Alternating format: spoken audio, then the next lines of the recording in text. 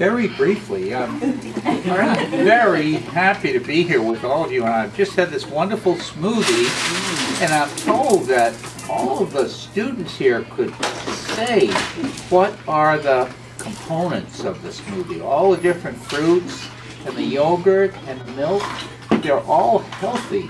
As I look around the room at you boys and girls, I know that you're you know about eating healthy and about exercising.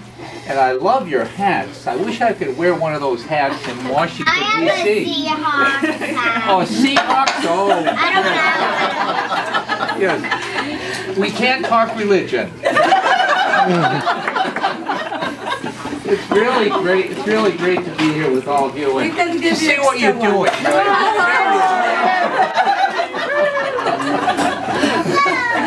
Yes, I'm, I'm gonna wear this when I go to Congress.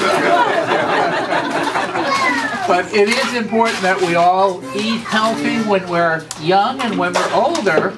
And it's wonderful that you're getting such a great start here at the Y. So it's, thank you for letting, I came from Washington DC, but my two colleagues here came from San Francisco. Does anybody know where San Francisco is? I know. Oh, fantastic. Well, they feel better now.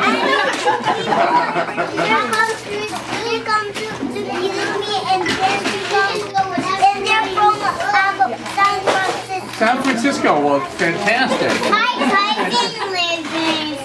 Well, okay, well, I'm gonna quit while I'm ahead. And uh, again, thank you all, thank you for the support, the city of Seattle, the hub, the food hub. Uh, You get fresh food, foods coming in here during this, during the year. And so when you get older, you'll be used to those fresh foods. And you'll grow up healthy, you'll learn, and you'll have fun. So thank you for letting us come to your school today. Would you say thank you?